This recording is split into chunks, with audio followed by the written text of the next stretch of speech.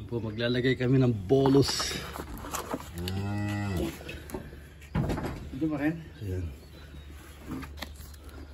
Calcium and vitamin D3.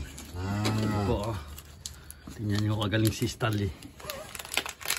Stanley Orong. May, may plastic pa to, wala na. Ito na yun. Ito na yan. yan. Kagatin mo muna bago. Kagatin mo muna. Para lang mo. Pag sinasak mo ganito bro, pagkatawa mo di para sa isang Ah, kamay. dito na gano. Oo, oh, oh, sandali, sandali. Padaanin mo muna ako. Di mo. Yan po, si Stanley.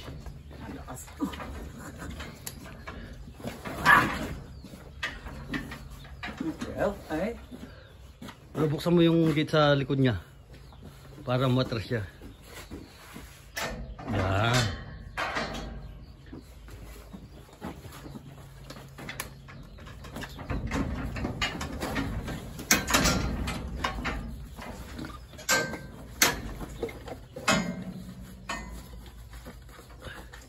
twist mo bro, twist.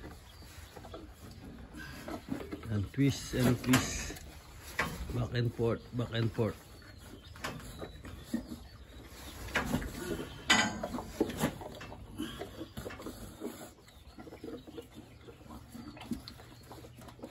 Oops, perfect. Galing talaga ni Stanley. Po si Stanley. Wrong. Junior. The birthday boy. The birthday. yeah. birthday po ni Stanley. But uh, we have to work eh. Happy birthday Stanley. Pagi My mentor, John Potpot. Birthday po ni Stanley ngayon. Go-broadcast ko sa buong mundo. Alright, time na po. It's 1 o'clock na. 1 o'clock. 1 p.m. Yan po. Tatapos pa lang po mga anak yun. Kaya binigyan namin ng Ay, vitamins. sabi mo natin pa sa Mandala, no? Yes. Vitamin D3 at saka po calcium para ma-prevent po yung ba? pagka-down na rin ah. Pagka low level ng calcium nila sa katawan. Para prevention. Prevention po yun.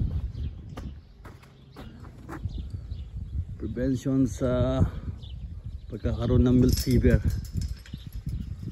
Yun, thank you po. Yun po si Stalin nakita nyo. Ang galing-galing. Birthday niya po ngayon. Magaling kasi wala sakit. Galing kasi walang sakit nga naman. Yan. Yan po. O, sige, happy birthday Stanley. At sa lahat po ng nagbe-birthday dyan, happy birthday po. Bye bye, maglalas na po kami. Boom.